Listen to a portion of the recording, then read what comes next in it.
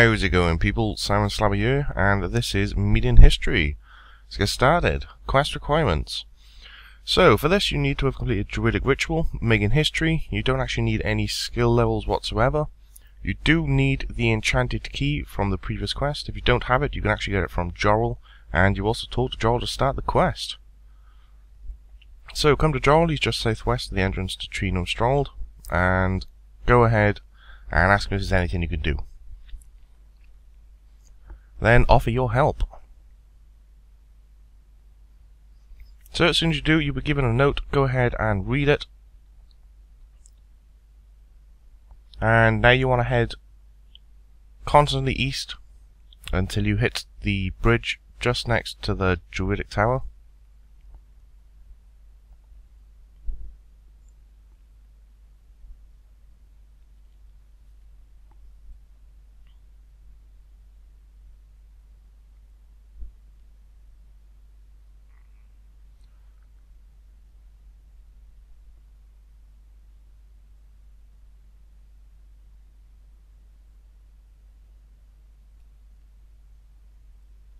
So, finally once you're at the tower, keep going west a little bit until you hit the bridge heading north.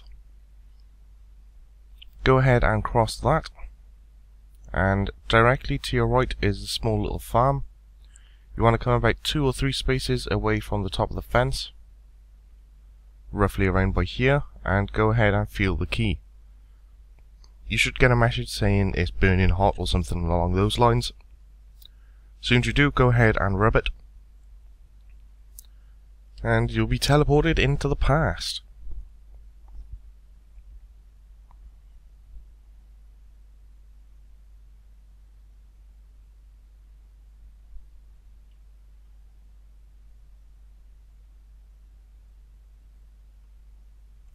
So you'll appear at this little farm here.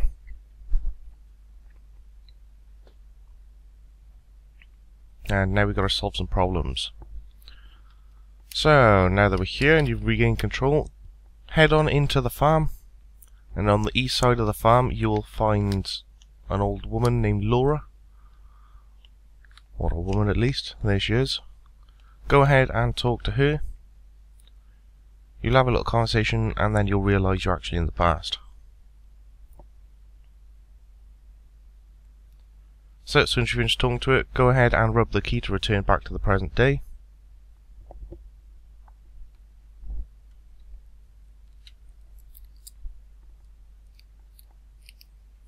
And once you're back, head on over to Jorral.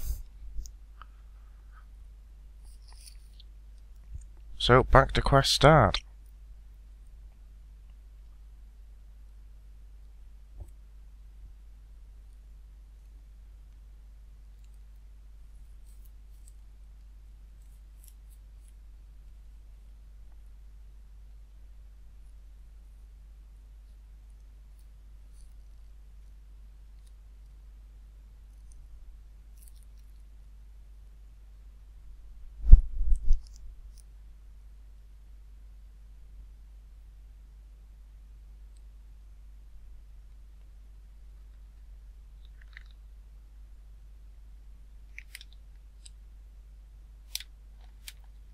So, finally once you're back here with Jorral, go ahead and talk to him.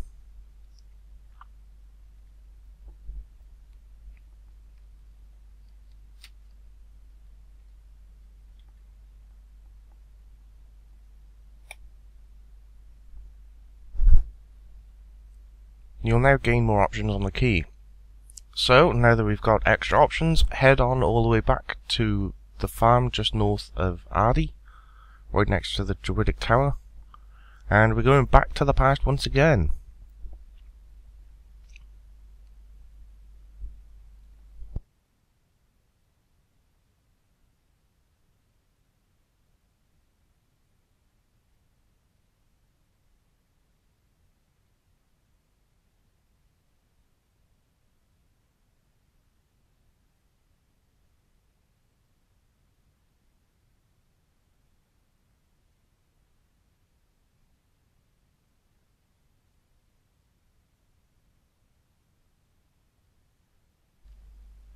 So, finally once you're at the bridge, go ahead and cross and go into the same spot as last time.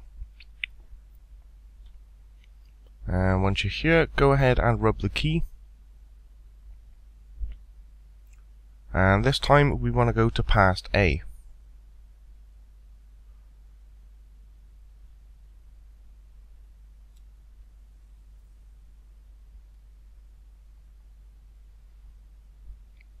So once you're head on inside, and first off you want to talk to Jack. He's this kid right here.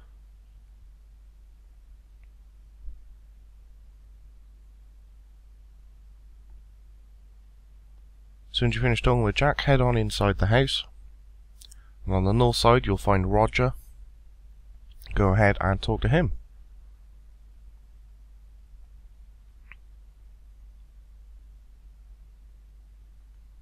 So, once you've talked to him, go ahead and rub the key. And now you want to go to past B.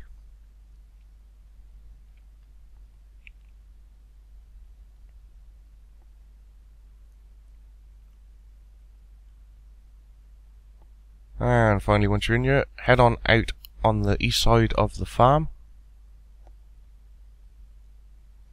And first off, you want to talk to Laura.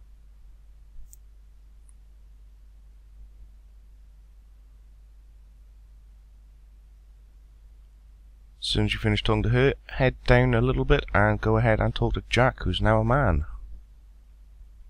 Now there's a bunch of questions. Tell him that you were a psychic. Option 2.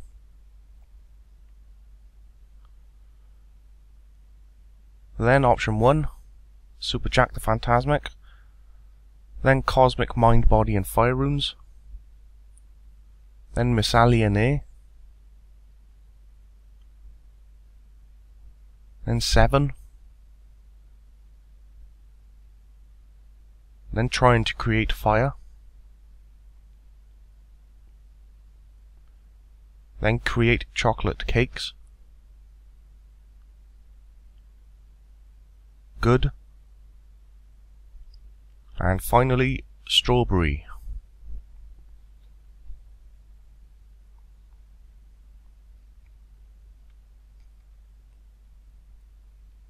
So, once you've done that, you want to head over to the west side of the farm now, and go ahead and talk to Sarah about her trees.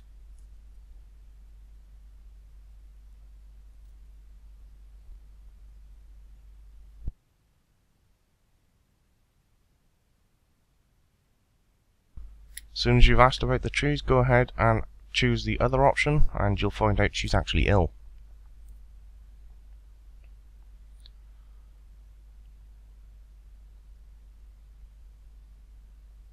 Once you've done that, you now want to rub the key and head back to past A.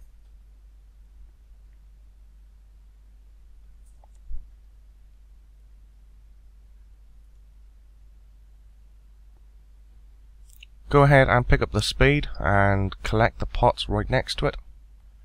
You'll gain six pots. And at this point, you now want to dig up every single one of these trees. So go ahead and use the spade on each one of these.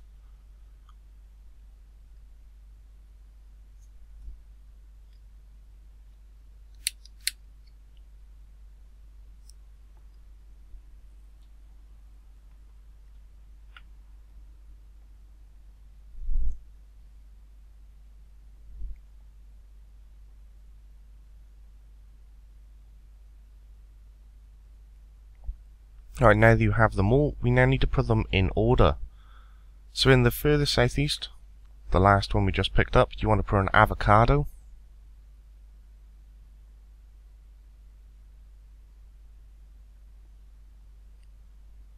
Then the one in the southwest, you want to put a lemon.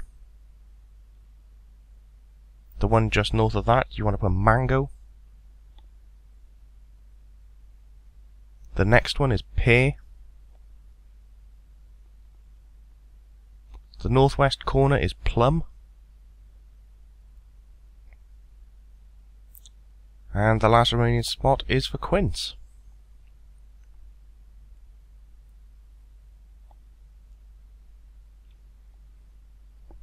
Once you've done all that, head on inside the house And we now need to collect some stuff from the drawers and the cupboards in the kitchen.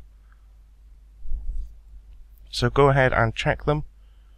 In total you need a pestle and mortar, a bucket of milk, some guam, and a bowl.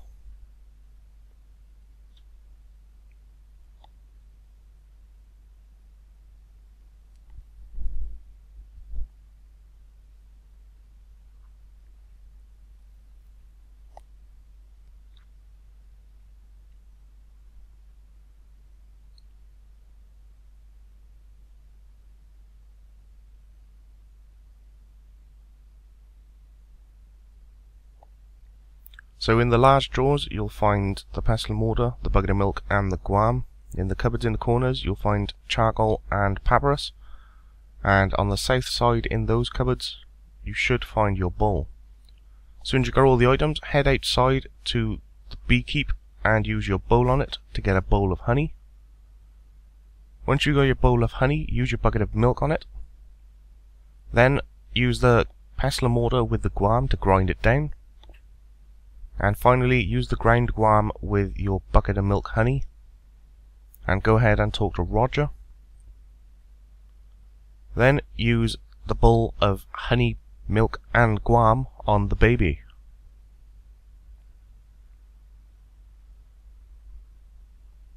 As soon as you do, you'll have a little cutscene and the baby will stop crying.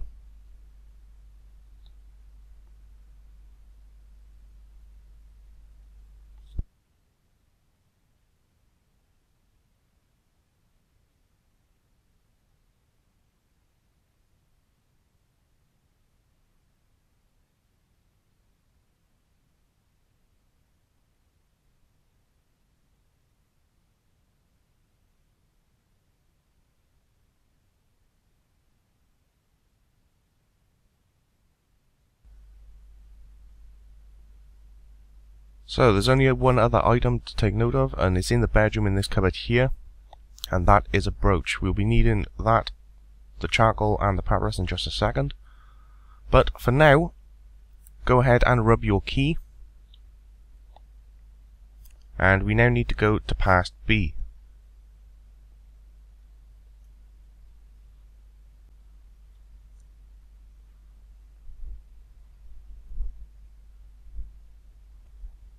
So as soon as you're in past B, go ahead and talk to Jack first. And you'll get a little cutscene from him.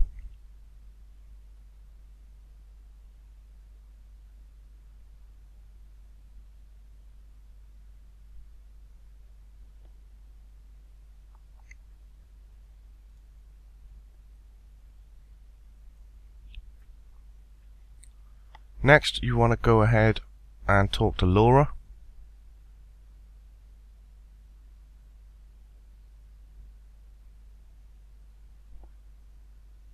Soon as you finish talking to her, head back to past A.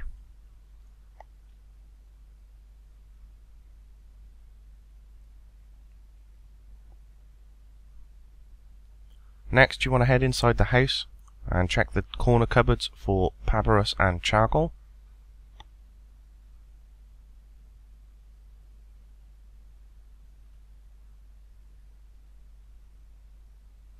Use the charcoal with the papyrus and you'll create a map of RuneScape. Go ahead and give this map to Laura.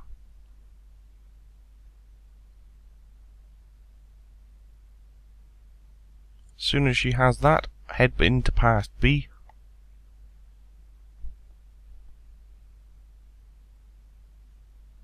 Talk to Laura once again.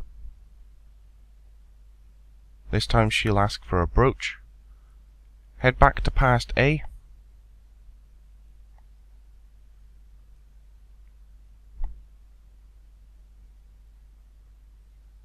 head inside the house and into the bedroom and check the side drawer for the brooch. Once you have the brooch, head out next to where Laura is fixing the shed and you'll see a little dirt mound just next to it. Go ahead and use the brooch on that. That'll bury the brooch. As soon as you've done that, head to past B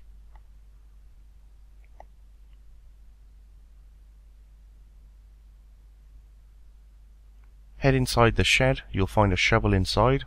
Go ahead and pick up the spade. Once you've got the spade, dig up the mud mound. Simply use the spade on it.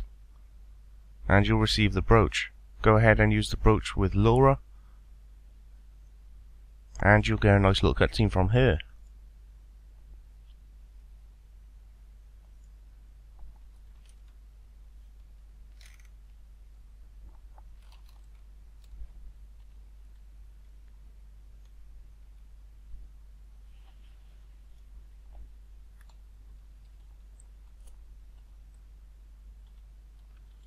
So, now that you've solved everybody's problems, go ahead and make your way back to the present day.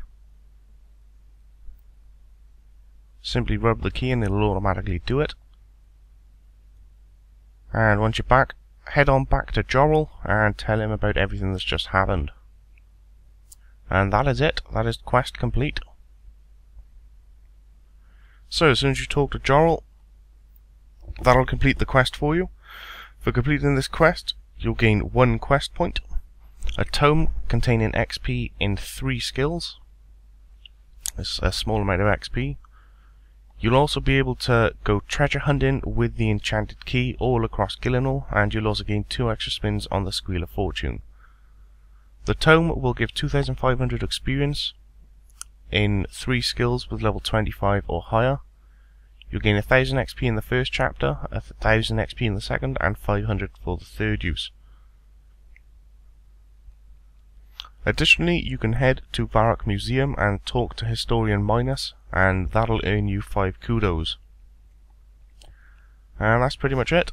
There is a little mini game to go for those treasure hunting. You can get the Mjolnirs from it. That's the Sarum Mjolnir, the Guthix Mjolnir, and the Zamorak Mjolnir. But that is it. That's everything you get for this quest. Good times. Nice, easy, quick one. Requirement for one of the Ardy tasks. So there we go. Hope you all enjoyed, and have a good day. Catch you later.